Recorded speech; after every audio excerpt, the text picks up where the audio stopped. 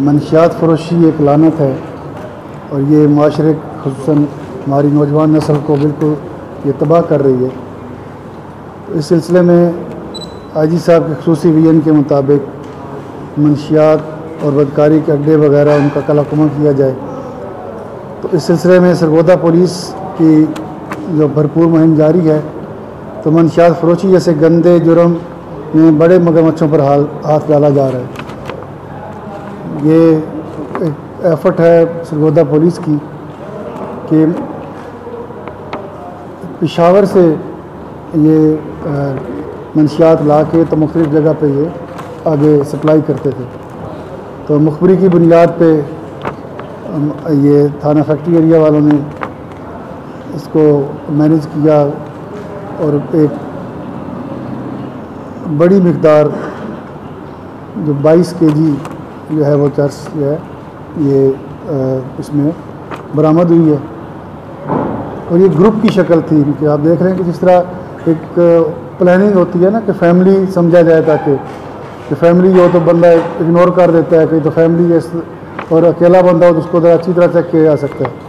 تو انہوں نے اس کو ایکسپلائٹ کیا ہے، ہمارے جو ایک پازیٹیو چیز ہے ہمارے معاشرے کی، اس کو انہوں نے مس یوز کیا ہے۔ اور انہوں نے ایک گروپ کی شکل میں فیملی کی شکل میں اپنے آپ کو کیمو کر کے تو یہ منشیات انہوں نے سپلائی کا کام کر رہے تھے۔ تو یہ بڑی خوشی کی بات ہے کہ یہ پکڑے گئے اور اس، اور بھی انشاءاللہ انٹروگیشن کی جاری ہے۔ اور بھی انکشافات ہوں گے، کس طرح یہ کہاں سے لیتے تھے، کس طرح آگے سپلائی ہوتی تھی۔ تو اس سلسلے میں اس کو اپریشیٹ کرنا چاہیے۔ میڈیا کو بھی ہماری ایفرٹس کو اور اگر آپ لوگوں کے پاس مزید نشاندہی آپ کی ہوگی اور ہمارا ایک کوآڈینیشن ہوگا تو انشاءاللہ اور بھی جو مجرم ہیں پکڑے جائیں گے۔ اور یہ ہماری اسپیشلی منشیات کے حوالے سے میں یہ کہنا چاہتا ہوں کہ آپ کے اپنے بچے بھی اس سے متاثر ہو سکتے ہیں ہمارے بھی ہو سکتے ہیں۔ اس پہ ہمیں اور زیادہ ایفرٹس کرنی چاہیے۔ بہت شکریہ جی۔ کیا یہ ریکارڈر ہے بندے؟ یہ بھی تفتیش میں سامنے آئے گا۔ ابھی چیک کریں گے انٹروگیٹ کریں گے پھر پتہ چلے گا۔ آئیے بتائیں گے یہ جو ہے کہ پشاور سے آپ بتا رہے تھے جی۔ تو راستے میں تو کسی نے چیک نہیں کیا۔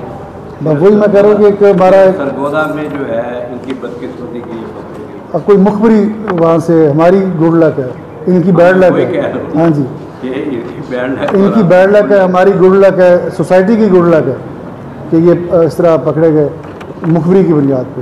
تو وہاں پہ میں وہی کہہ رہا ہوں کہ انہوں نے کیموفلائز کیا ہوا تھا نا۔ عام بندہ دیکھے گا تو یہ تو ایک فیملی ہے ہی۔ تو فیملی سے